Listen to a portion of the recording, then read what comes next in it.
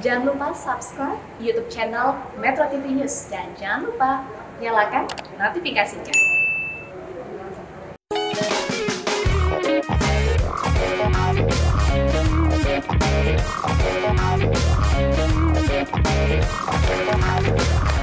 Halo, halo, halo, halo. Salam sehat.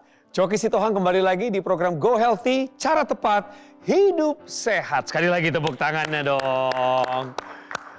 Pemirsa seluruh Indonesia, Anda menanti-nantikan program ini karena Anda sudah merasakan manfaatnya. Hari ini kembali kami akan memperkenalkan kepada Anda satu cerita baru. Beliau sudah kami hadirkan ke studio. Nanti saya perkenalkan ya. Juga dengan dua orang praktisi kesehatan yang sudah hadir di sini. Saya kenalin dulu praktisi kesehatannya. Boleh ya? Sambutlah Bang Paidon Lumban Toruan dan Mbak Lula Kamal. Hai semua pemirsa.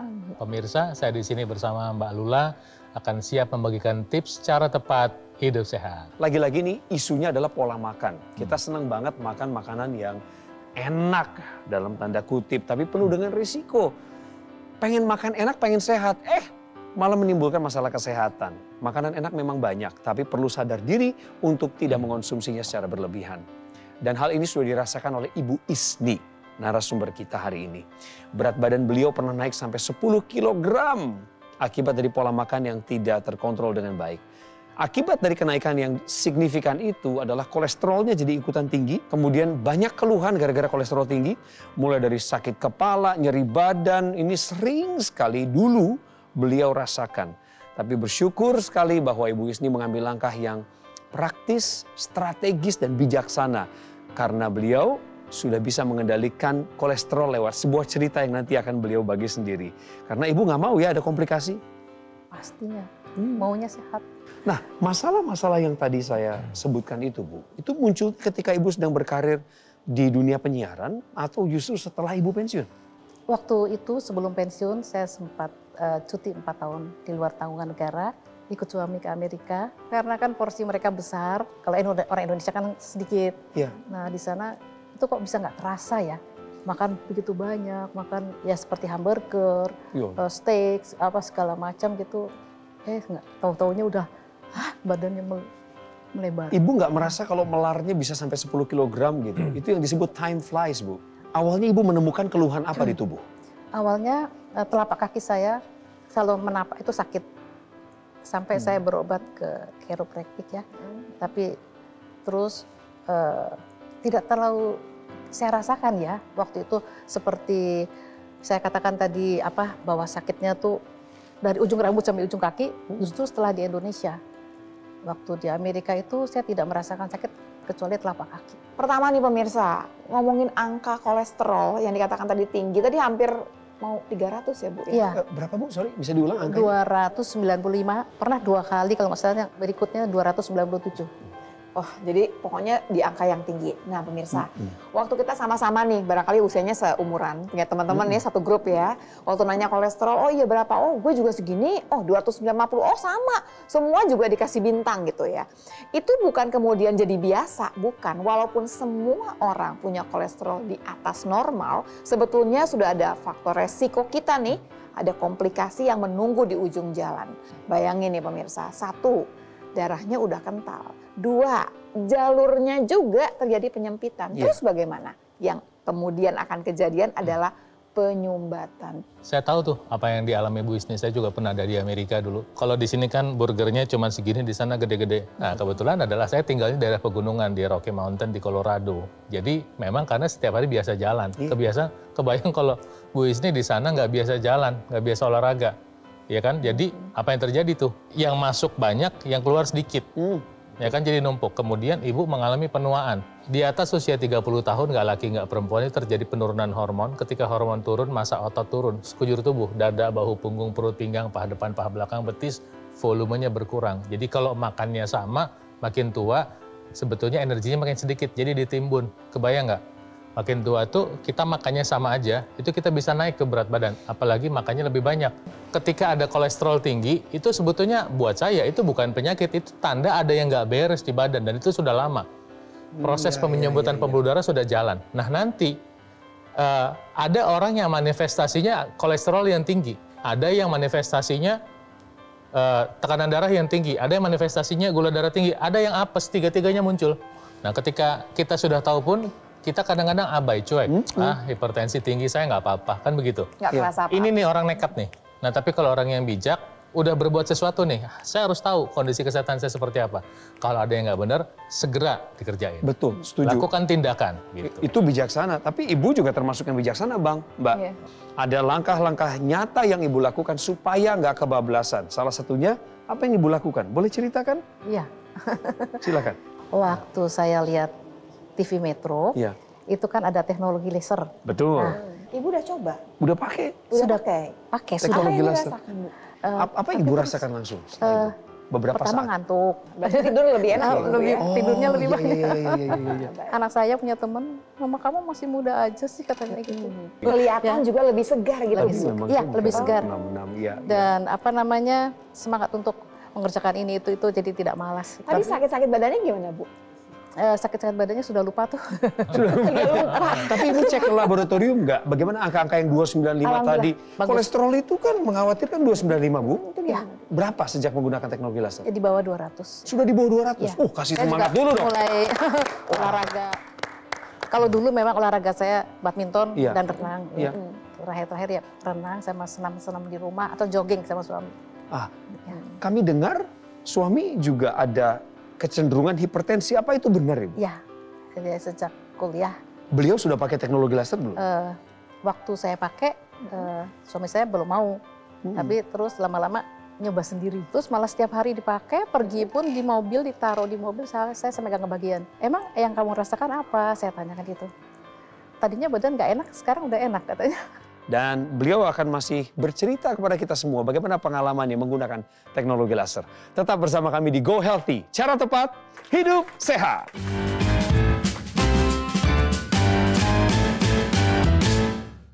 didukung oleh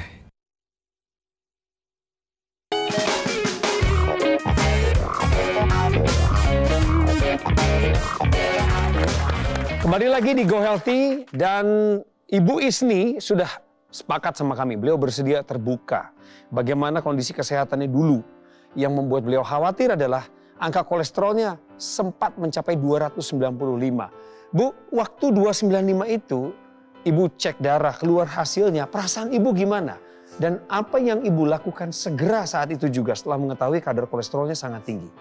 Ya, saya masih meneruskan minum obat. Lama-lama terasa bahwa obat itu mahal.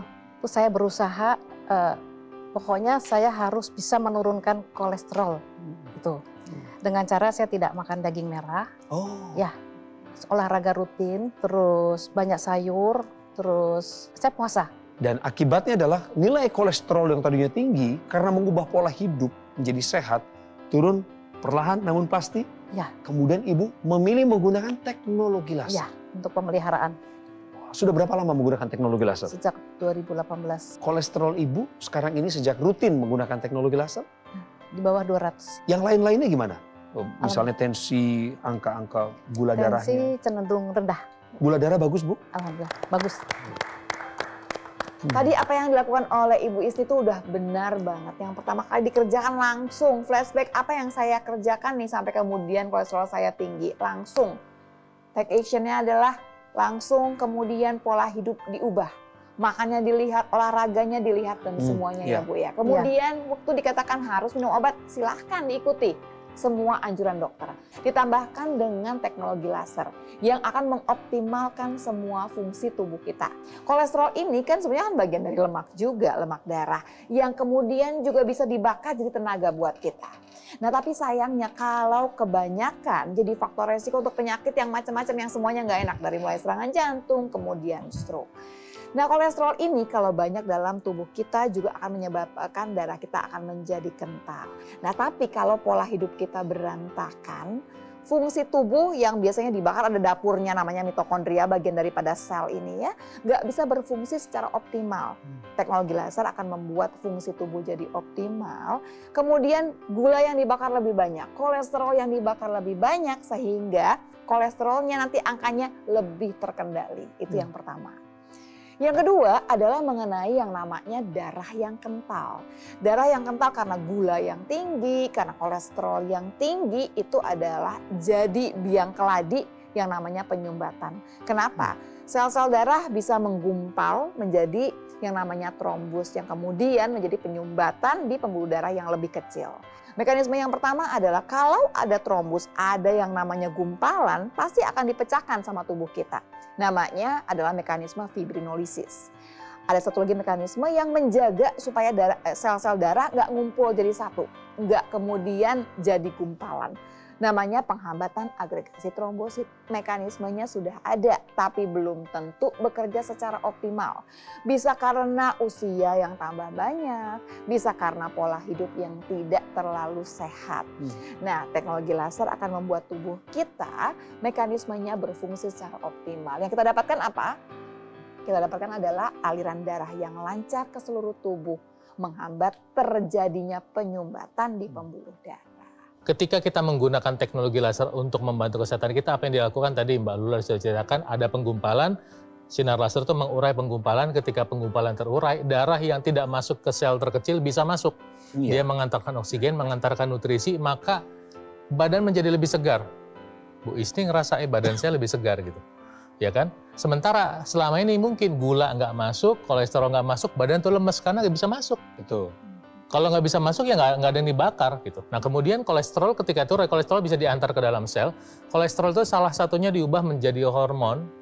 Misalnya pada perempuan estrogen dan progesteron di mana pada usia menjelang menopause atau menopause dia membantu mengurangi resiko serangan jantung.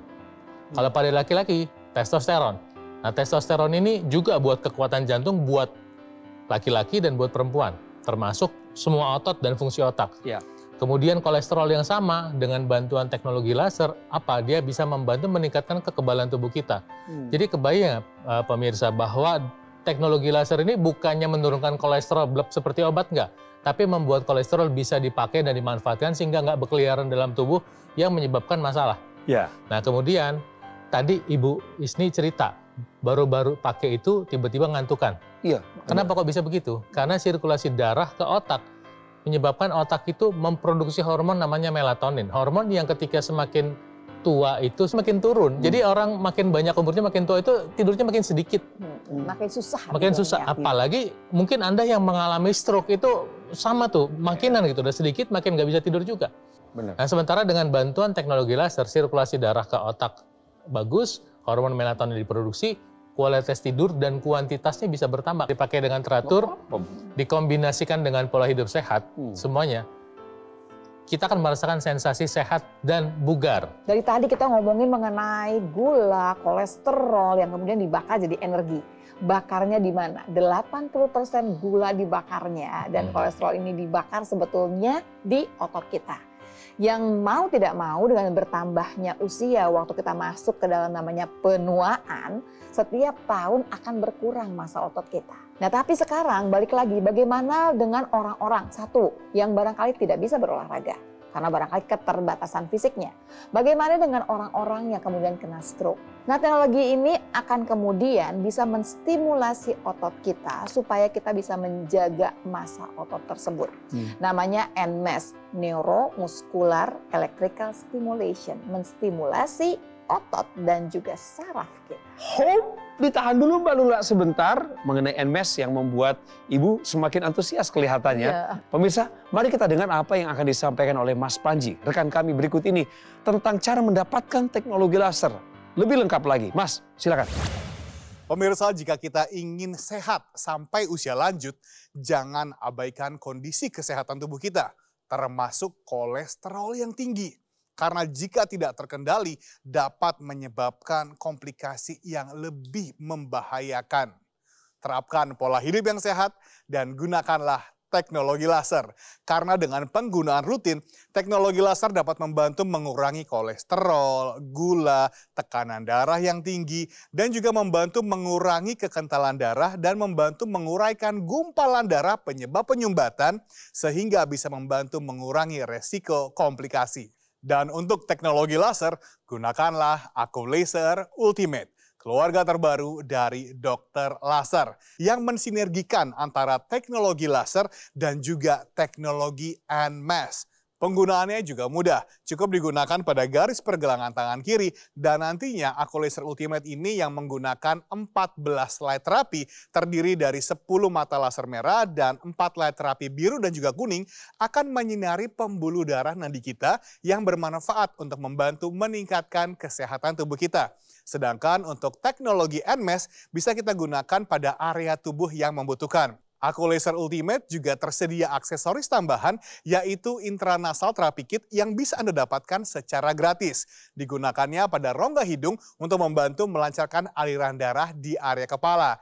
Jadi sekarang adalah waktunya bagi Anda untuk mengambil handphone Anda, langsung saja hubungi nomor telepon yang tertera ataupun chat kami sekarang juga dan dapatkan informasi lebih lengkap mengenai Aku Laser Ultimate yang membantu meningkatkan kesehatan Anda dan keluarga.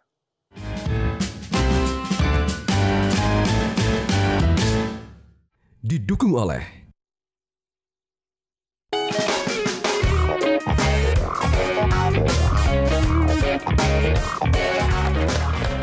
Pemirsa Anda masih menyaksikan Go Healthy. Dalam perubahan perilaku kesehatan seseorang selalu dimulai dari pola pikir yang benar. Kami mendengar dari Ibu Isni yang pertama prosesnya dari 10 kg naik, kemudian kolesterolnya naik signifikan, beliau harus berpuasa setelah itu, dan kemudian menemukan teknologi laser. Nah, yang menarik ini setelah menggunakan teknologi laser, sekarang ibu merasakan tubuhnya lebih bugar. Sakit kepalanya gimana bu? Penasaran juga. Hilang. Dulu kan ngeganggu banget kan itu? Iya. Pokoknya keluhan-keluhan yang ada Lupa, saya bilang hubungannya. tadi lupa. Lupa gitu sama ya, sakit. Pokoknya keluhan-keluhan yang tadinya ada hubungan dengan nilai kolesterol yang tinggi itu sekarang sudah tidak dirasakan oleh ibu lagi. Iya. Ya. Jadi bagaimana ibu sekarang menjaga supaya keadaannya tetap begini, jangan kayak dulu lagi. Gimana caranya, Bu? Makan, tidak makan daging merah, banyak makan ikan, Oh. sayur, dan Ini olahraga sangat- juga. Oh, olahraga jalan terus. Eh, di umur 66 olahraganya apa ini? Eh, senam, eh, jogging, berenang. Bicara mengenai teknologi NMES, Neuromuscular Electrical Stimulation. Kenapa memelihara otot dan mengembangkannya itu tetap penting meskipun di usia senja? Oke, saya nih eh, kalau bicara otot ini ya, ini reminder buat diri sendiri pemirsa. Karena umur udah makin banyak, ngumpulin umur ya dengan sendiri. Waktu umur kita makin banyak, yang jadi resiko adalah salah satunya adalah masa otot berkurang. Masa otot yang berkurang itu harus dijaga. Dengan apa pola hidup sehat. Jadi makin tua itu nggak bisa tuh kemudian nggak bergerak. Kita harus bergerak, harus berolahraga. Nah tapi kita bagi jadi beberapa kelompok ya. Yang pertama saya mau bercerita mengenai orang-orang yang terkena stroke. Orang yang terkena stroke itu biasanya sebagian daripada tubuhnya itu mengalami kelumpuhan atau kemudian kelemahan. Nah yang namanya NMES ini, neuro muscular electrical stimulation ini akan bisa kemudian menjaga masa otot. Hanya ditempelkan di otot yang tadi nih, yang lemah atau kemudian lumpuh, dia kemudian akan memberikan stimulasi supaya ototnya kemudian berkontraksi, bergerak lagi ototnya. Apa sih harapannya? Harapan yang pertama adalah otot tersebut masanya tidak berkurang, tidak mengecil. Yang kedua adalah ini mengirim sinyal kepada otak kita bahwa otot ini ya sebetulnya masih sehat. Kita berharap kemudian nanti sinyal yang terputus dari otak kepada otot tersebut bisa tersambung kembali dan ada lagi kemudian ya impuls tersebut. Yang kedua adalah orang-orang yang barangkali punya keterbatasan dalam bergerak. Misalkan, oh kalau bergerak lututnya sakit begitu. Nah, otot-ototnya ini harus dijaga sebetulnya supaya lutut tadi, sendinya yang sudah rusak itu dibantu. Kalau kemudian mau berjalan, mau bekerja, begitu dibantu oleh otot yang memang jumlahnya cukup. Caranya dengan menggunakan NMES tadi. Yang ketiga adalah untuk kita semua, untuk menjaga masa otot. Karena otot ini adalah harta kita gitu ya, yang akan membakar 80% gula, kemudian kolesterol dan semuanya. Makin kecil gitu ya otot kita, makin sedikit yang bisa kita konsumsi. Jadi jangan heran kalau merasa begini, makannya sama tapi kok berat badan saya bertambah Iya, ya? Ya iya. karena tadi otot kita berkurang. ketika sampai pada masalah sendi, kita harus mau perhatikan juga. Nah kebetulan teknologi laser juga punya kelebihan di mana teknologi laser bisa dimanfaatkan untuk membantu pemulihan jaringan sendi. Jadi Ya. dengan menggunakan teknologi laser pada pergelangan kaki, pada lutut ya, pada siku, pada pergelangan tangan, pada bahu itu membantu satu proses pemulihan atau recovery di mana dia membantu proses pembentukan kolagen. Kedua, dia menghantarkan nutrisi untuk bahan baku kolagen di sendi. Dengan membuka pembuluh darah di sekitar sendi, maka nutrisinya lebih lancar. Iya. Dua-dua nih. Yang ketiga, teknologi laser terbaru kan ada sinar warna kuning. Pertama, sinar laser merah, sinar biru, dan sinar kuning. Nah, sinar kuning ini membantu mengurangi peradangan. Jadi mengurangi rasa sakit, sehingga sendi kita lebih sehat. Maka Anda bisa menggunakan teknologi laser dibarengi dengan pola hidup sehat. Ya artinya ketika Anda mengalami kelebihan berat badan, sendi Anda sakit, jangan dibiarin kelebihan berat badan. Iya dong. betul nggak? Betul, betul. Proses lagi. betul berat badan kita kurangi dengan mengatur pola makan untuk membantu sendinya dan menjaga kesehatan darah dan pembuluh darah Anda bisa menggunakan teknologi laser. Betul. Teknologi laser itu punya alat tambahan, perangkat tambahan yang bisa dimasukin ke dalam lubang hidung yang disebut dengan intranasal Nasal. ya sehingga dia membantu sirkulasi darah, pembuluh darah di sekitar wajah dan lebih dekat ke otak. Dengan demikian eh, aliran darahnya, pembuluh darahnya lebih lancar di situ. Dengan demikian bisa membantu mencegah stroke itu kalau yang udah ada bisa membantu stroke berulang dicegah. Kemudian yang punya potensi stroke kita bisa cegah. Ya. Dan kalau ada stroke bisa kita cegah komplikasinya maksudnya. Betul. Ya. Di situ eh, kita bisa lihat bahwa dengan satu perangkat teknologi laser itu manfaat buat kesehatan kita banyak dan tentu yang beruntung adalah kita yang mau bertindak dan kita mau pakai sekarang juga. Lakukan sekarang, praktekkan sekarang sebab kesehatan adalah milik kita semua. Ada cerita dari masyarakat Indonesia yang sudah menggunakan teknologi laser dan mereka bilang bahwa kami terbantu dan kesehatan kami meningkat. Gak percaya deh, kita puterin videonya. Kebetulan saya nggak ada keluhan apa-apa ya selain mungkin kolesterol aja sih. Setelah saya menggunakan alat itu banyak perubahannya, efeknya ke diri saya. Jadi saya lebih fresh. Dulunya saya sempat ada kolesterol ya. Itu eh, setelah saya cek lagi, alhamdulillah udah normal lagi. Terus tensi juga nggak ada masalah. Untuk masalah tidur juga saya lebih nyaman ya. Terima kasih kepada masyarakat Indonesia yang sudah bersedia berbagi informasi lewat pengalaman berharganya menggunakan teknologi laser. Bu, ceritain lagi dong ke pemirsa, dulu berapa angka kolesterol ibu, Ya. keluhan-keluhannya apa gara-gara kolesterol tinggi, dan setelah menggunakan teknologi laser, apa yang ibu terima atau hasilnya bagaimana? Silakan sedikit saja bu. Pemirsa, eh, kolesterol yang saya alami waktu itu sampai 295 Wow. atau 297. Nah, kemudian saya mengkonsumsi obat pola makannya saya atur, olahraga, eh, puasa juga, dan terakhir saya menggunakan eh, teknologi laser. Wah. Dan rasanya eh, saya lupa dengan semua penyakit itu. Sudah tidak muncul lagi bu ya, itu yang ibu sangat syukuri ya. ya. Dan angka-angka tadi yang dari 295 sekarang sudah ada di angka Di bawah 200, Di bawah 180 berapa gitu saya lupa. itu terkendali bu. Iya. Mantap. Ayo gunakan teknologi laser dan teknologi NMES sekarang juga. Mas Panji akan menutup kalimat dengan bagaimana Anda bisa mendapatkan teknologi laser sekaligus teknologi NMES ini. Silakan. Pemirsa, apalagi yang masih Anda tunggu? Segera gunakanlah alat kesehatan yang tepat untuk diri Anda dan juga keluarga. Aku Laser Ultimate, alat kesehatan yang telah terdaftar dan memiliki nomor izin edar resmi dari pemerintah. Dan Aku Laser Ultimate juga dilengkapi dengan aksesoris tambahan yaitu laser pad menggunakan 12 light terapi.